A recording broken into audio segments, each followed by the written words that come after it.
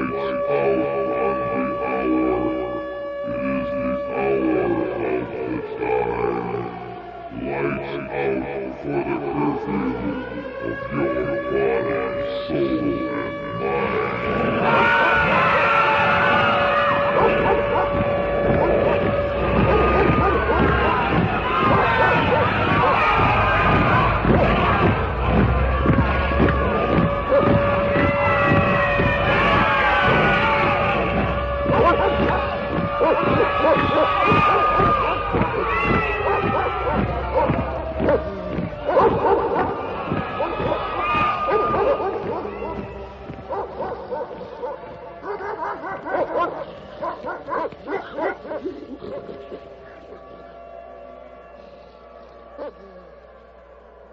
Across America and around the world, you're listening to the Hour of the Time, the only hour that ever was or ever will be, for during this hour you will decide your future and thus our collective futures. I'm your host, William Cooper. Have you called Swiss America Trading yet?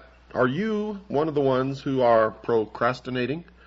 Are you the person who approaches me after I leave the lectern during my travels across this country to ask me how you can save your assets in the coming economic trauma? Well, if you are and you have not yet called Swiss America Trading, what's holding you up? Doesn't cost you anything except whatever the phone call is, and folks, it's an 800 number, which means you don't have an excuse. You're going to get something free in return, chock full of information that you need to know if and only if you mention my name, William Cooper, when you call. Now, you all know that we had to leave WWCR and begin broadcasting on WRNO because WWCR was burned to the ground in the early morning hours of April the 4th, 1993. And uh, you will be hearing us back on WWCR this coming Monday the 17th at our same old usual time. But all of this is due to the backing that we have from Swiss America Trading. Without them, you would not be listening to us now, and you probably would not be listening to us very much in the future. They've stuck behind us. They've backed us all the way. They believe in what this show represents. They're people just like us. Call Swiss America Trading. Talk to the experts there, folks. I want you to stand behind them just as they have backed us during these trying times. Swiss America Trading deals in protecting their clients, you, through non-confiscatable, non-reportable hard assets. You've heard me inform you about the trouble this country is in, both politically and financially, and folks, the time to act is now. Call the experts at Swiss America Trading at 1-800-289-2646. That's 1-800-289-2646 and have them show you how to protect yourself. Call 1-800-289-2646. That's 1-800-289-2646.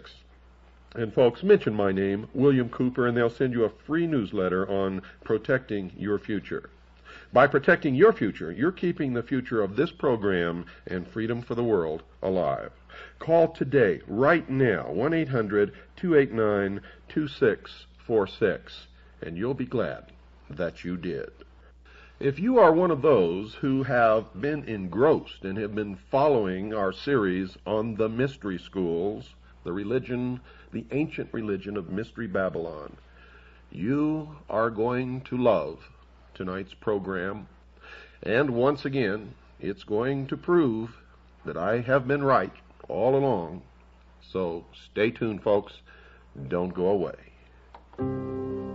Everybody look back in that corner at the far side of the room where it's real dark behind that chair.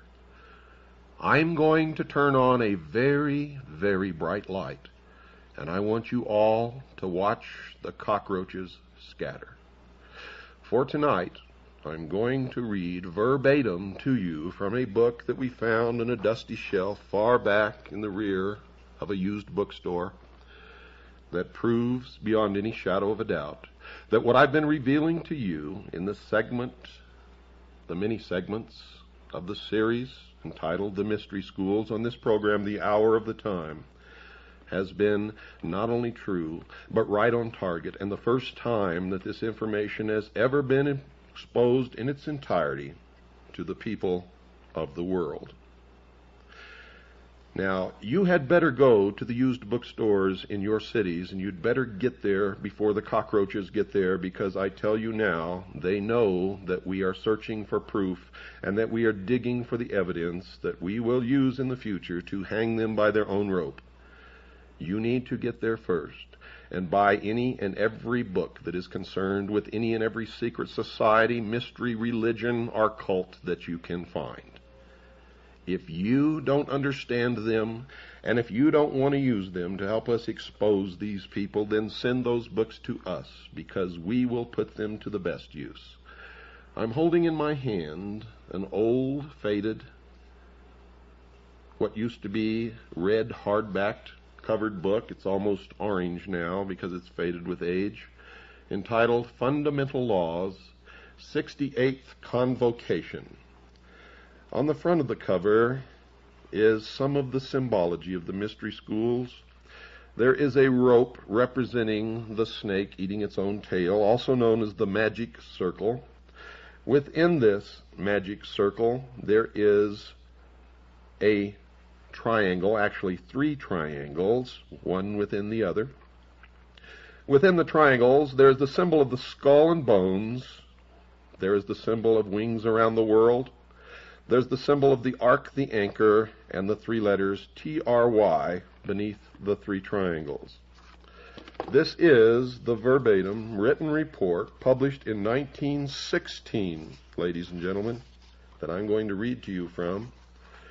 Fundamental Laws, a report of the 68th Convocation of the Rose Cross Order giving a resume of the proceedings of the convocation, together with most of the lectures that were delivered during this time of the convocation by the several delegates present. Also a report of the work of ancient initiation in the grove of Osiris as especially prepared for the occasion. Below that is the symbol of a triangle with three stone steps representing the three degrees of initiation. Up on the top step is a cross, in the center of which is a rose. And beneath the triangle, again the three letters T-R-Y. This is copyrighted 1916, published by the Philosophical Publishing Company, Allentown, Pennsylvania, for the members of the Rose Cross Order. On the next page is a roll of honor. One of the names here stands out and almost knocked me over when I saw it, for the name is Lars Hansen. Now, it is not the Lars Hansen that we've discussed on this show, and we're going to look into it to find out if this was his father, our grandfather, our great grandfather, could have been either one of the three. But we will find out, believe me. We know that Lars Hansen's parents were members of the mystery school, and in particular, the Metternich Stell group, where Lars Hansen was reared. An explanation of the contents of this book, and I'm reading verbatim from the introduction in explanation, in explanation of the contents of this book, it is to be stated that these articles do not give the inner work of the Rose Cross Order, but simply the outer, the public teachings. Now you'll remember in the Mystery School series, I taught you about the exoteric and the esoteric. What you're going to get in this book, because they never publish the esoteric anywhere, it's always hidden in symbology, but there are incredible admissions in this book that you will hear in the exoteric. Reading again, verbatim.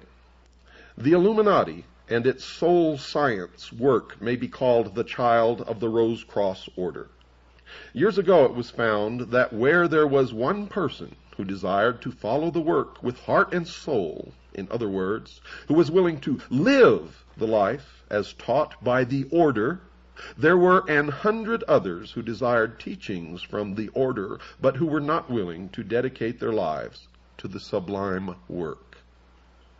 Now, I break from this for a moment to remind you that I have previously stated that the fraternity of Freemasons, the Ancient Order of the Rose and Cross, the Sovereign and Military Order of the Knights of Malta, the Knights Templars, the Mormon Church, all of these, the Illuminati, the Order, the Skull and Bones, are all the same organization.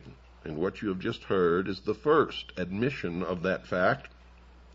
And you are going to hear more as I progress. And remember, I'm reading this right out of their own publication, a hard-bound book published by the Philosophical Society in Allentown, Pennsylvania, specifically for the Rose Cross Order. Continuing. These thousands had to be taken care of, and as a result, the Illuminati and its soul science work was born. When in April, now that's April of 1916, folks, April of 1916, remember that. When in April the order went forth to the brethren that a sacred convocation was to be held, all delegates were requested to prepare articles on soul science so that regular lecture sessions could be held. The lectures that follow are the result. All these lectures were given in open session and are to be considered as soul science work, though in entire harmony with the teachings of the Rose Cross Order. The work of the Rose Cross Order as given to its students can never be published. It is a secret, sacred work between teacher and student. Let me read that again for you. It is a secret, sacred work between teacher and student. It is a soul training, an inner initiation, and such work continues until the student has reached initiation, after which he is called upon to attend a convocation, and at which time the degree work is conferred upon him. But the inner work always precedes the outer work, as the outer work is only a bond binding together the brotherhood. Thus a word in explanation. Many having heard of the great order and its work, and actually knowing nothing of its inner work, have ignorantly or with fraudulent intent established so-called Rose Cross bodies. And these bodies, knowing nothing of the true work of the Rose Cross, have nothing but a ritualistic initiatory rite or degree work. We would refer all seekers to authorities on the Rose Cross and on initiation, and they will then find that the true Rose Cross is actually a school of spirituality with a degree ceremonial initiation as the climax. And this is signed by the Hierophant of the Order.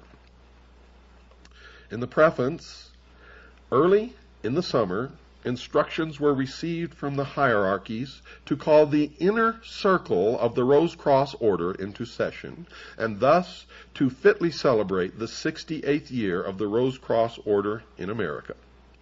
Orders were immediately issued to those who have the privilege of attending this convocation, and on June the 1st, 1916, the convocation was called to order and the preliminary lectures were started.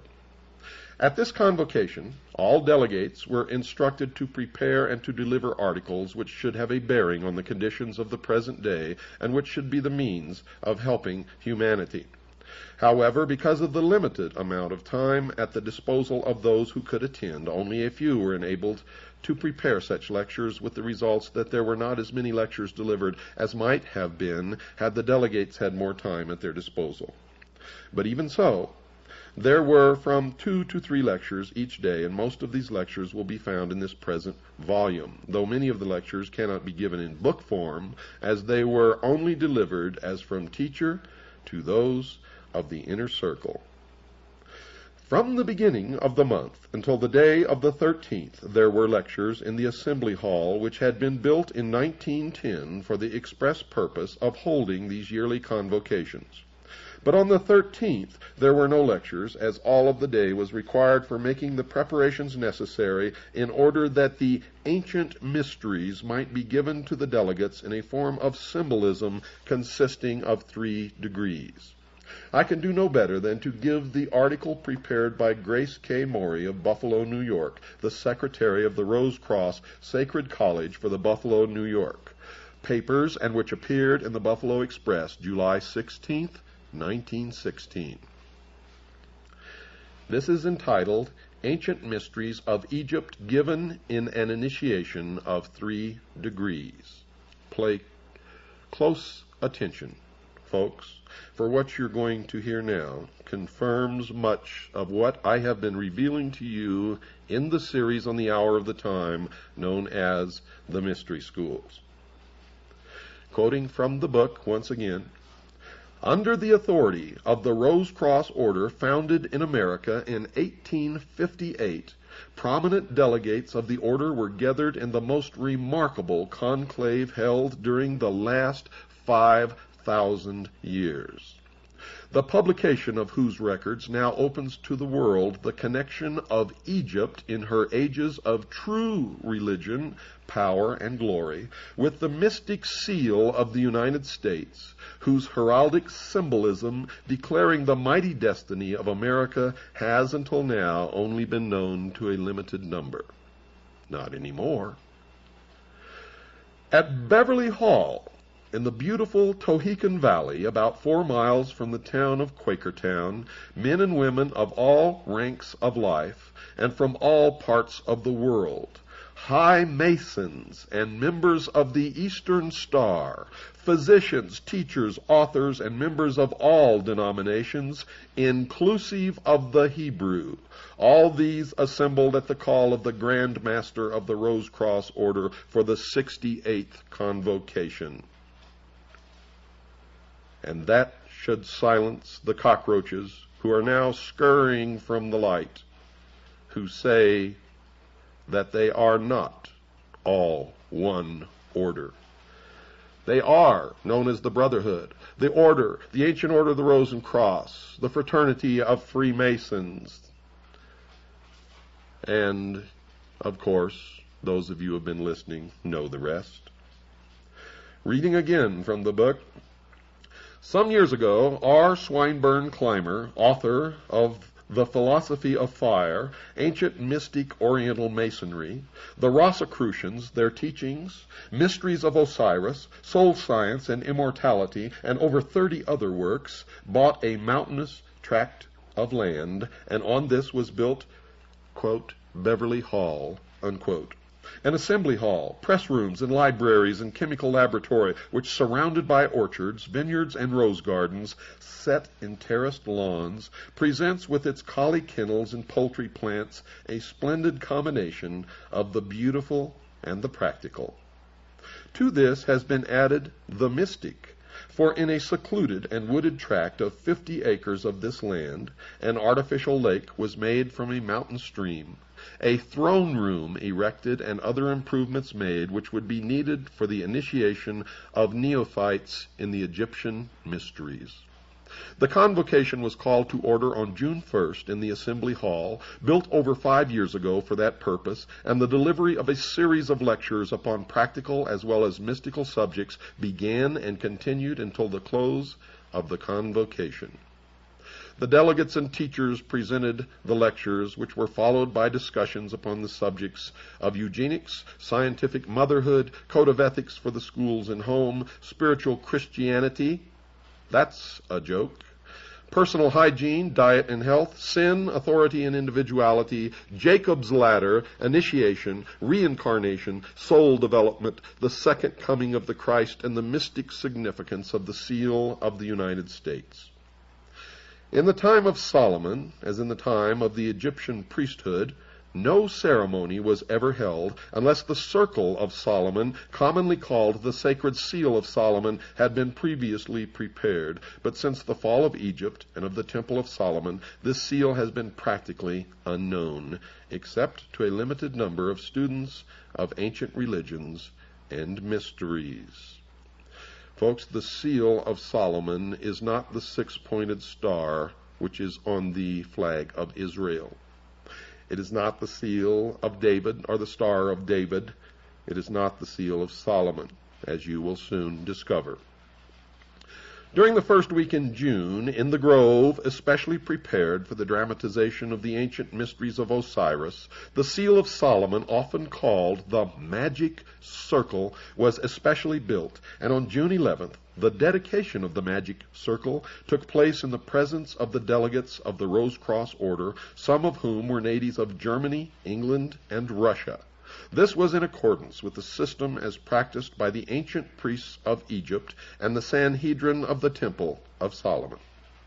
On the night of June 13th, the first session of the class, including those of the order taking part in the initiation, assembled in the grove of Osiris, which was illuminated by electricity from a central power house especially prepared for the purpose and the initiation of the ancient mysteries of Egypt in three degrees and six scenes. All students of the ancient mysteries and religions know that in the Temple of Solomon there were three courts. The outer court for the people being composed of 700 selected teachers and leaders. These were members of the first degree, Illuminati called also seekers, travelers, or soldiers, the middle court, or members of the second degree, were seventy in number, and were supposed to be in the hall of meditation, and acted as mediators between the people and the inner sanctuary.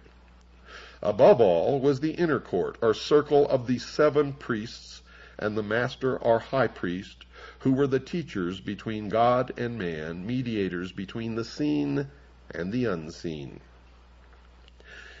In the Egyptian mysteries, the first court was made up of the royal youth of Egypt, and such students from foreign countries as desired to enter the temple and priesthood, and these during probation were often known as, quote, soldiers of the priesthood, unquote as it was their duty while undergoing the preliminary training and test to guard the priesthood and its work even to the death.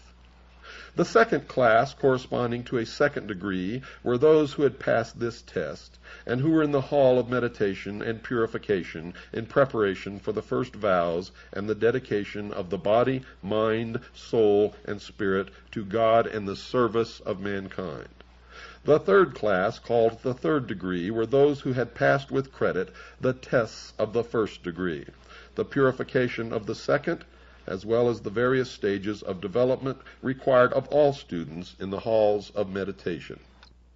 In the royal third degree, which took place in the temple, the neophyte received the final instruction. After this came the final test in the beautiful ceremony of the death of the old life, the giving up of the body and its temptations, and the raising of the slain Osiris, our spiritual body, by his faithful spouse Isis, the soul, with the final illumination. On the 15th of June, the first section of the representatives left Beverly Hall for their respective homes, and the second section began to arrive for the preparatory lectures, and on the 19th of June, the ceremonies were repeated so that all might witness the initiation and take part in it so as to become members. So far as can be learned, either through travel or history, never before since the fall of Egypt and its priesthood and the fall of the Temple of Solomon has there ever been a grove, a lake to represent the Nile, a magic circle, or a temple prepared, nor is it believed that anywhere in the world does there today exist such a circle. Nearest to this, however, is Stonehenge of the Druids of Britain, to which their descendants travel each year at a certain time to greet the sun and renew their vows. This is the first time, therefore, in five thousand years that any order has attempted to build up this sacred emblem under the stately oak so that people of modern civilization might witness the beauties of the life and religion of the ancient people whose teachings of individual soul development made the glory of Egypt, the lost dreams of all Israel, the teachings of the Magi of Persia, all that was true in India, the splendid philosophy of Greece, the magnificence of the early Romans, the basis of pre-Christian Ireland's great schools, as well as the familiar Holy Grail legends of Britain, Celt, and Gaul.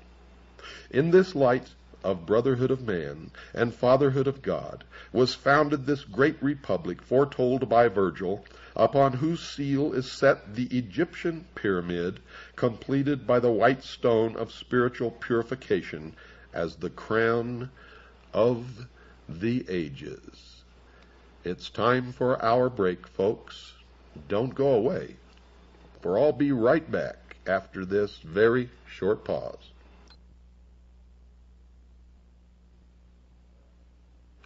Well, I see some of you still have not called Swiss America Trading Corporation, and I can't help but wonder why not. What's holding you back? You profess to really, really get good, solid information from this show. You are all concerned about the coming economic collapse, and it is coming. You want to know how to protect your assets, and we've done everything we can to get you to call Swiss America Trading so that you can prepare for what's coming. Now, they have all the recommended investments that we've given you on this program. They have some that we don't recommend, and they have some that we don't know anything about. It's your money. You have to decide what you're going to do with it. But what I'm telling you, folks, is we've checked these people out. We've checked out Swiss America Trading. They're just like you and I. They're patriots. They care about this country. They backed this show, and no one else would have would have done it.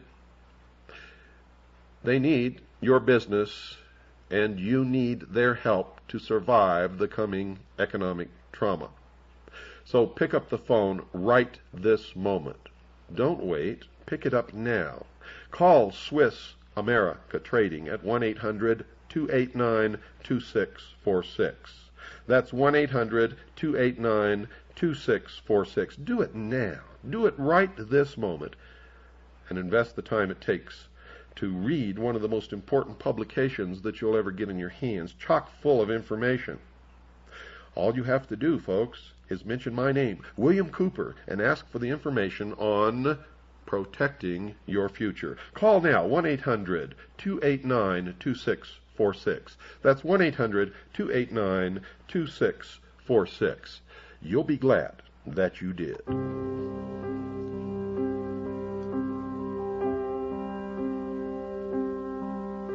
Far beneath the snow, lies a seed that with the sun's love becomes the rose.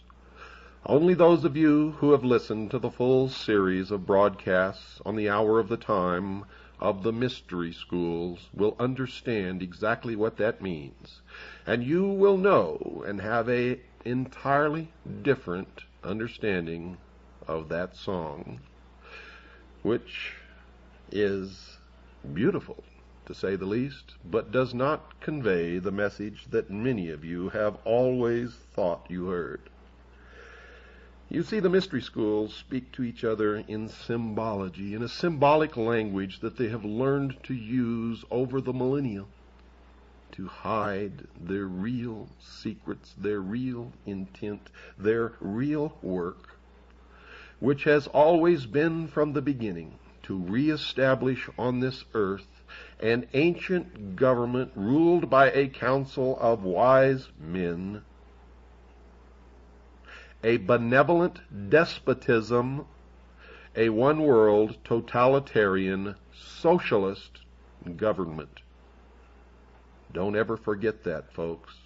If you love being free, the New World Order utopia is not for you and it certainly is not for me. Continuing now from the book entitled Fundamental Laws, the publication of a report of the 68th Convocation of the Rose Cross Order, during which they admit the existence of the Illuminati, they admit the existence of the Order, they admit the existence of the Brotherhood, they admit that all of these secret organizations, including Freemasonry, are all the same organization, all working toward the same goal. An incredible admission printed in their own publication. A hardbound book found up on a dusty shelf way back in the rear corner of an old used bookstore. Such is the work of the Citizens Agency for Joint Intelligence, CAJI. You too can become a member by sending $45 to William Cooper, Post Office Box 1420. That's Post Office Box 1420.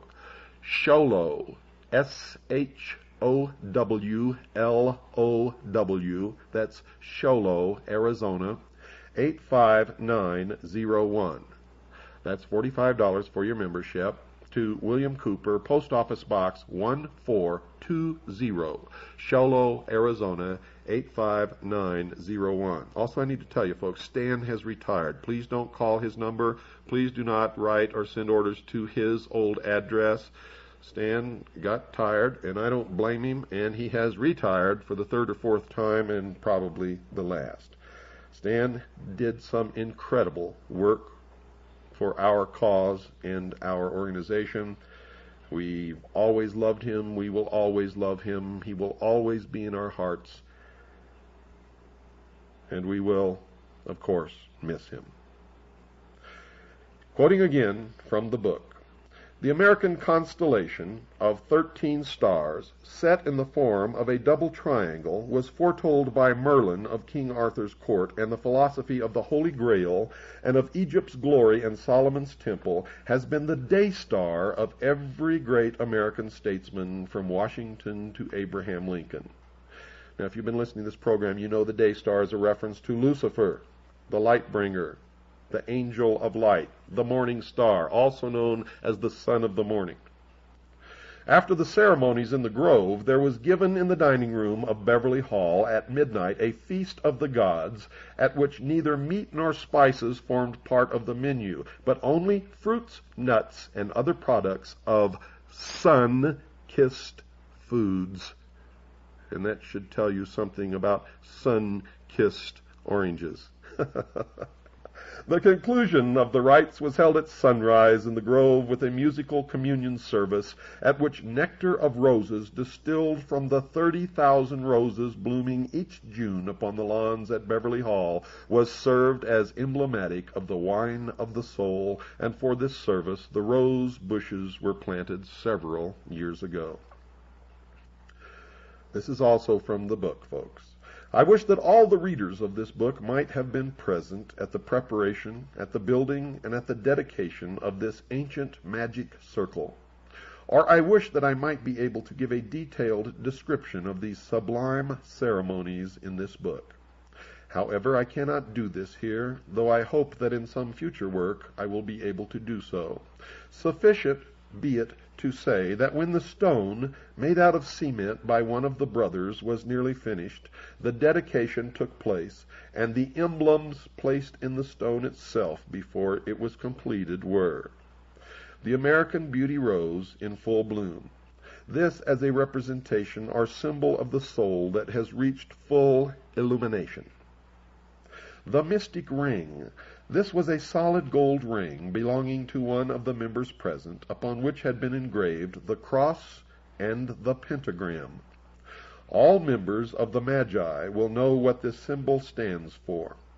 The ring itself, as is known to the Magi, is a protecting agent against all evil or malignant influences when worn during any ceremonial or developing work. And the true magic mirror this is an emblem of the soul, which when fully developed will act as a mirror to the universe, wherein may be wisdom and truth.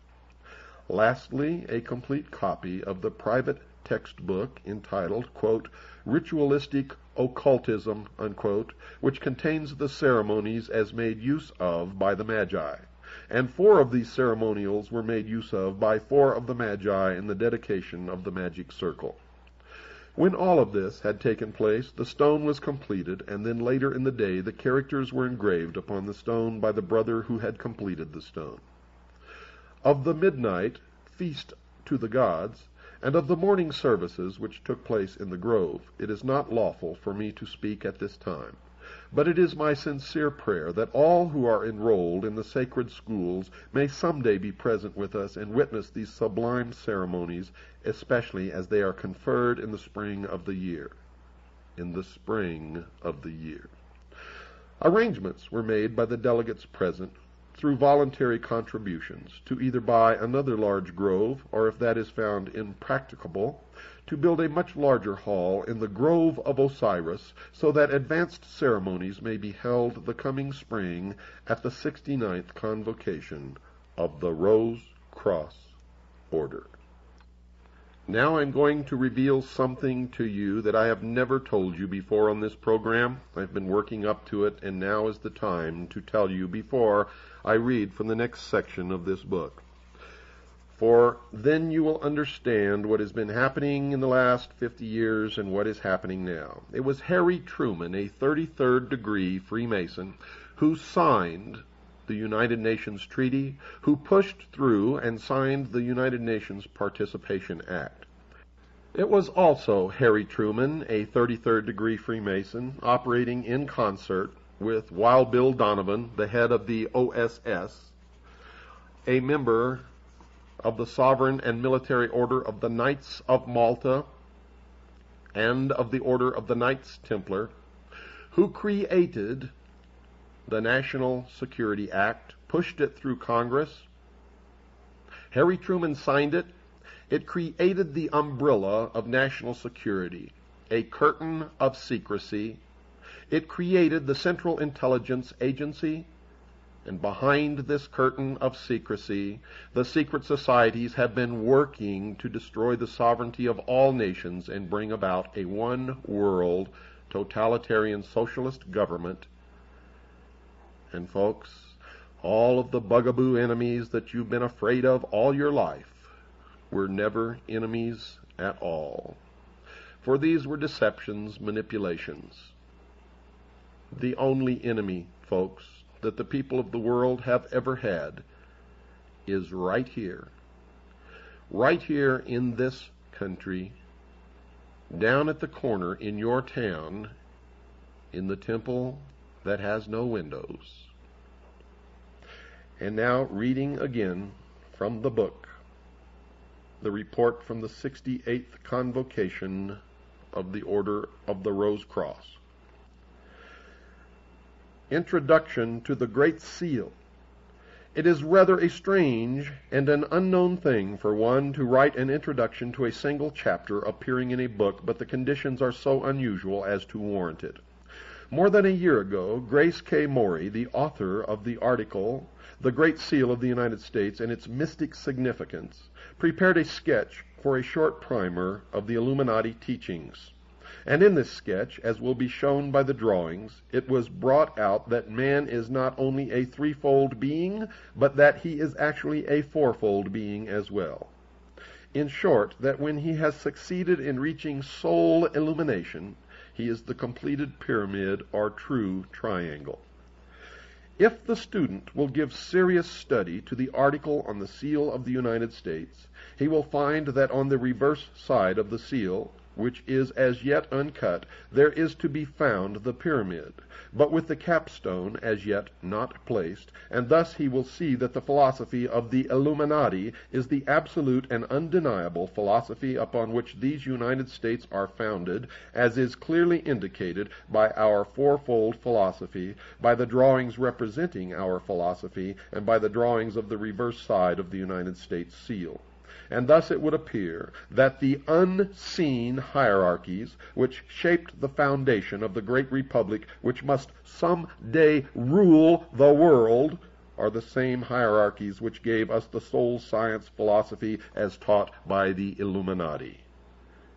And now you know why what has happened in this country has happened, and you now know why what is happening today is happening, and you now know why on the reverse of the Great Seal of the United States are the words Novus Ordo Seclorum, which literally translated means the new order of the ages, also known, ladies and gentlemen, as the New World Order. But I won't let you rest with that shock. Listen to this, dear listeners. Hold on to your chairs because the incredible admission that is coming to you right out of the pages of this book is going to knock you flat. Reading again from the book.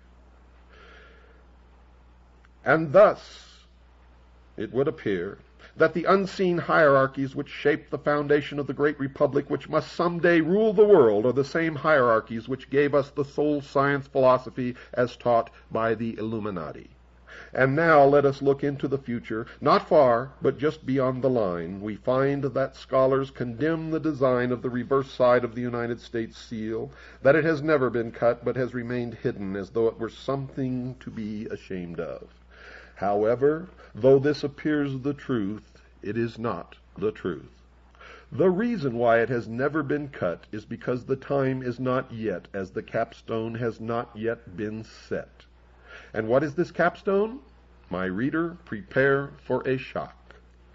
When Atlantis ruled the world, that which is now America was connected with Egypt by what is now Mexico, and in Mexico and the territory of Yucatan there is a pyramid in which the fire philosophers worshipped God as divine fire and life in like manner as did the initiates of Egypt, for the two were then one.